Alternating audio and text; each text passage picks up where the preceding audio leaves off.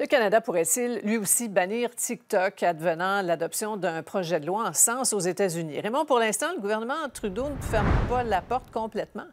Non, exact. Hier, c'est la Chambre des représentants à Washington qui a adopté ce projet de loi dans une forte majorité en plus. Projet de loi qui prévoit de bannir TikTok aux États-Unis à moins que la plateforme soit vendue par sa maison mère chinoise, parce qu'il y a bien des législateurs du côté américain qui soupçonnent que Pékin utilise TikTok pour faire de l'espionnage en sol américain.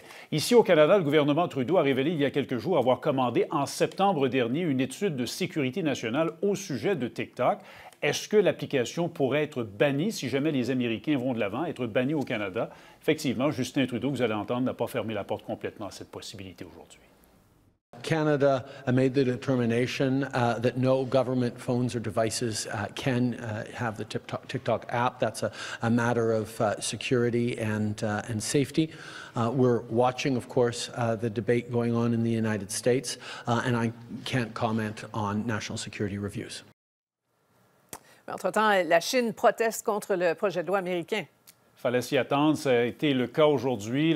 Pékin qui parle d'une chasse aux sorcières et qui somme le gouvernement américain de respecter la loi des, marchés, de la libre entreprise et de laisser euh, TikTok œuvrer euh, du côté américain.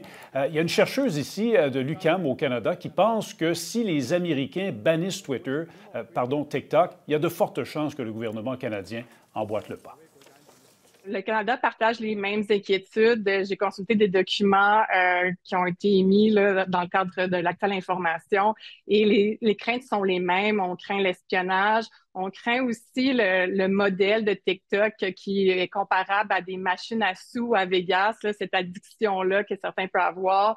Euh, euh, campagne de désinformation alors, le projet de loi américain a franchi l'étape de la Chambre des représentants. Maintenant, ce sera l'étape du Sénat. Et ce n'est pas évident parce qu'on dit que les sénateurs sont très divisés.